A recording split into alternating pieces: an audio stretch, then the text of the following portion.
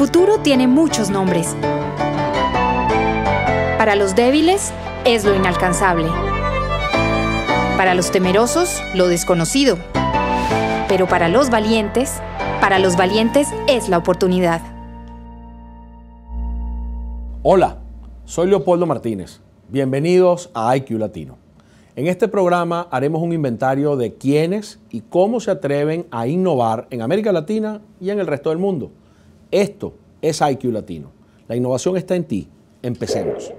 Julio Verne dijo que todo lo que una persona pueda imaginar, otros pueden hacerlo realidad.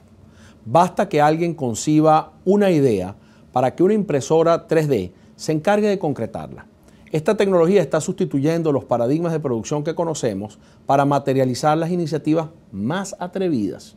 Una persona puede diseñar una taza en su computador, y poco tiempo después alguien disfruta de un café caliente en su escritorio. Algunos se preguntan si esta nueva forma de concebir productos significa una segunda revolución industrial. La impresión 3D forma parte del grupo de tecnologías de fabricación por adición.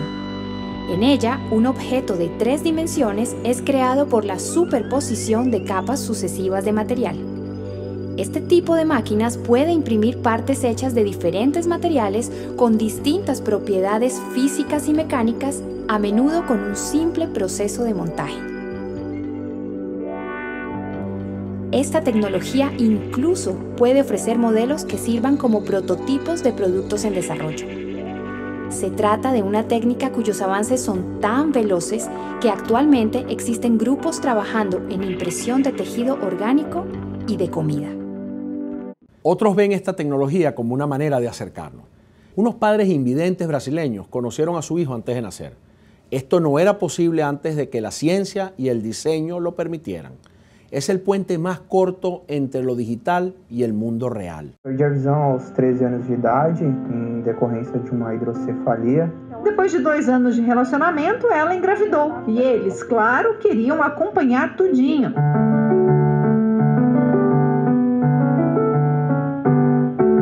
Querendo ou não, quando a mulher fica grávida e está acompanhando a gravidez, a, a felicidade dela é ver o desenvolvimento lá pelos ultrassons.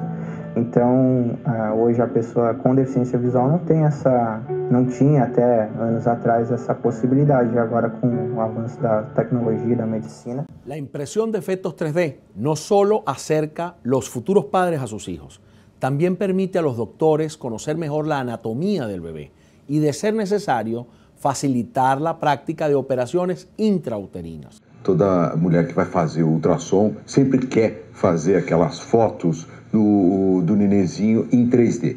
Para a mulher, lógico, é uma lembrança, para a família toda é uma lembrança muito especial, mas para o médico é muito importante. Através do ultrassom em 3D, o médico pode avaliar melhor se o nenê não contém nenhuma malformação. Malformação do tubo neural, malformação do crânio, malformação do diafragma, malformação dos órgãos internos do nenê. Donde unos ven infinitas oportunidades como la impresión de casas y comidas, otros aprecian posibles amenazas. Gun control for us is a fantasy. In a way that like people say, well, you're being unrealistic about printing a gun. I think it's more unrealistic now, especially going forward, to think you could ever control this technology. Como muchas tecnologías modernas, la impresión 3D no solo sirve para crear, sino también para destruir. Imagínense un mundo donde grupos criminales tengan acceso a esta tecnología. El tráfico de armas ya no tendrá los obstáculos del intercambio físico, como aduanas y embarcaciones. Cuando el diseño de un arma de fuego esté disponible en la web, con un simple clic se pueden poner en peligro muchas vidas.